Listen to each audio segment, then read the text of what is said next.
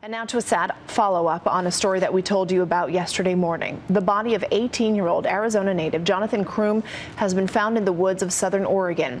Police are investigating his death as a suicide. Croom had talked to his parents and others about the book Into the Wild and about his desire to run away.